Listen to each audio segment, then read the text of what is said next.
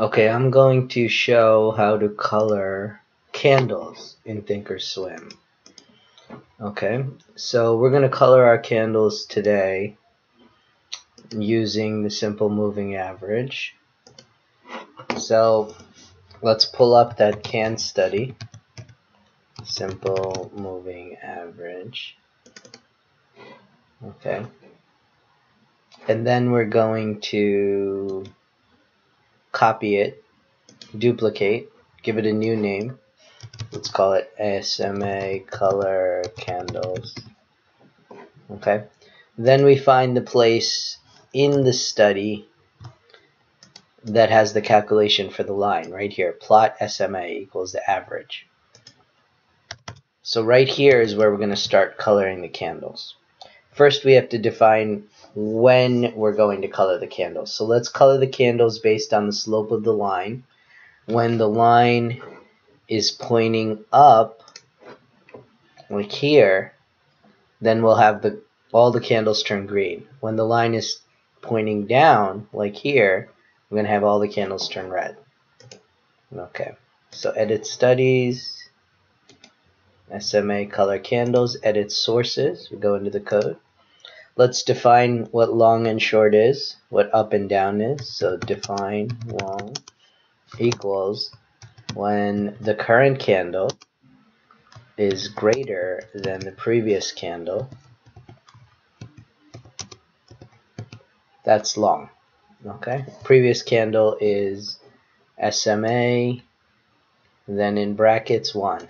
If you want to do two candles back, then it's 2, 3. Now let's do short. The current candle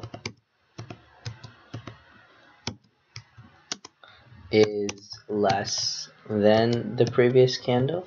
That's short. Okay, so now we have a long and a short. Now we're going to color the candle. So we say the name of the candle, SMA, dot assign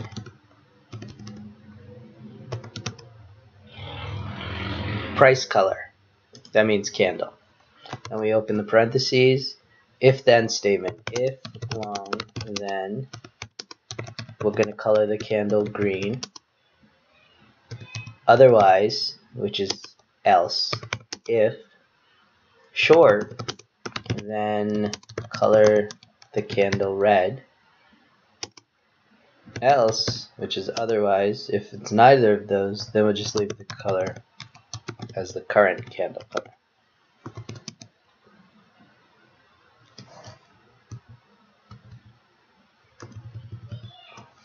So actually you don't need the SMA because we're not talking about the line, we're talking about the candles. So that's my mistake. It happens.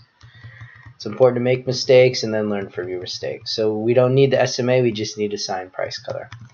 Now let's check if it worked. Let's delete the old one. Here we go. Okay, lines up, candles are green. Lines down, red. Up green, down red, down red, up green, down red, up green, down red, up green, down red, up green, down red. Alright, so it works. And that's me, Javid, teaching you how to use ThinkScript. Thank you very much.